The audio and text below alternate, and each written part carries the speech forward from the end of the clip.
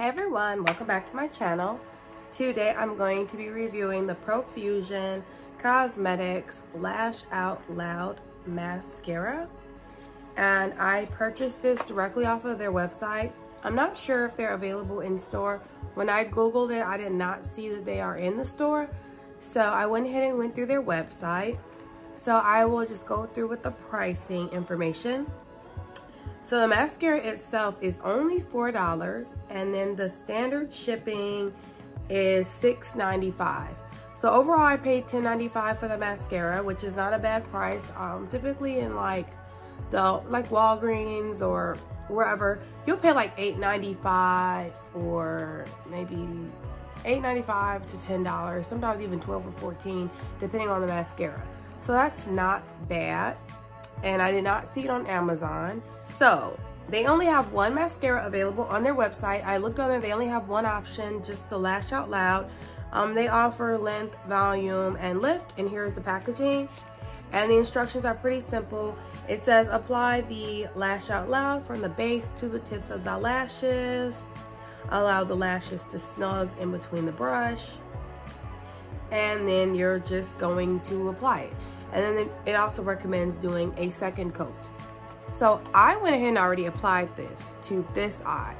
So I didn't apply it to this eye. I just have eyeliner over here and that's from the lashes I was demoing in the other video. So I want you guys to look. Let me know if you see a clear difference between the two.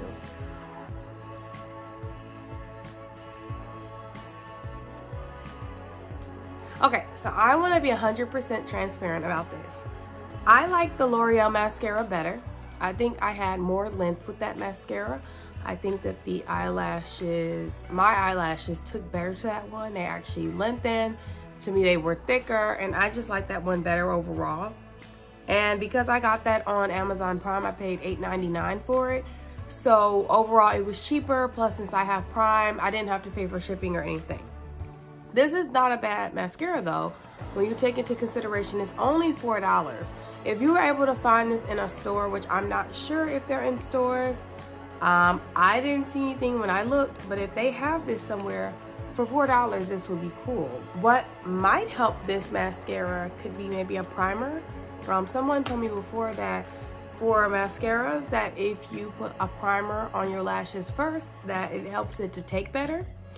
So that might help. I did not see that they sell a primer, but that could be something. And I do like the spoolie that's included in here. The spoolie is very nice to me. Um, it kind of curves in and out so you can get every single lash coated. So, I mean, that is a pro. And also the packaging is nice. I mean, these are all these are all like minor things. Like nobody, I mean, although we like having nice packaging, when you're paying for a $4 mascara, I don't think people are buying it to get cute packaging. We just want it to work and do the job. Um, but overall, I think I would stick with my L'Oreal. I think this mascara will be fine if, you know, I'll probably put it in like my bag is just a backup one or something I'll use or maybe in combination with another one. But I think the L'Oreal has this one definitely beat if you're looking for more volume and more length. I will do a demo on camera to show you guys the application. From what I see, this is not a tube mascara, so you're gonna have to use some makeup remover to take this off more than likely. So just so you know, uh, the tube mascaras are easier to remove, I think, because they just slide off.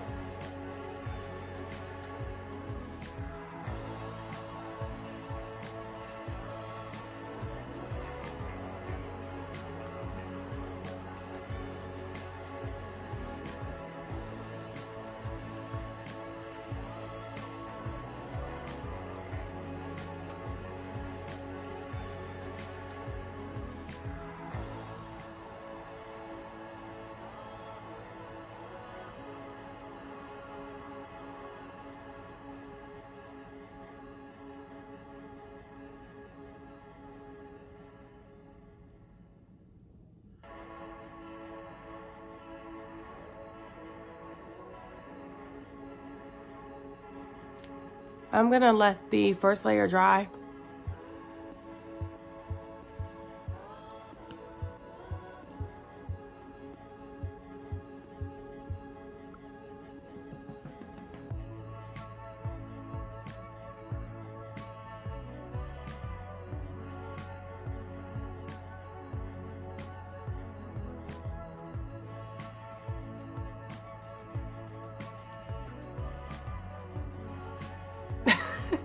You guys can see by my face. I'm unimpressed. I am unimpressed.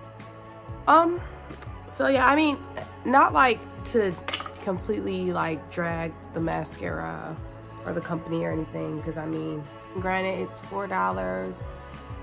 Just it's it's not anything to write home about. It's not worth ordering and waiting for it to come in the mail. It's not worth the wait. I mean, you could go into Dollar Tree and get something similar to this, honestly, you know, and save your time. So unless you just see it in the store, I would not recommend paying that shipping cost. I, I mean, if you've had a different experience, let me know down in the comments. Let me know, maybe I'm using it wrong. Is there some type of primer you recommend with it? But just as the mascara alone, it ain't all that. It's just okay. Shout out to my girl, Julia. She did recommend this. And also, everybody keep Julia in your prayers because she got surgery today. So hopefully this video keeps her entertained because maybe she did this to troll me because Julia likes to troll. So this must have been some type of a sick joke because she really came for me with this mascara. Or maybe she likes it. I don't know. Julia, you let me know if you really like this mascara. Let me know how it worked for you. Maybe it just doesn't work well for me. But you let me know how it worked for you if you did buy it. If you didn't buy it, girl, don't do it. Thank you guys for watching my channel. Don't forget to like, comment, and subscribe. And of course, if you have anything you want to recommend, you want me to try, let me know down in the comments or message me, whatever. I will be happy to purchase it and try it out. Don't recommend no $300 products or have me reviewing a fur coat because I'm I am I'm using my money. I'm not rich, okay? All right. Thank you guys. Bye.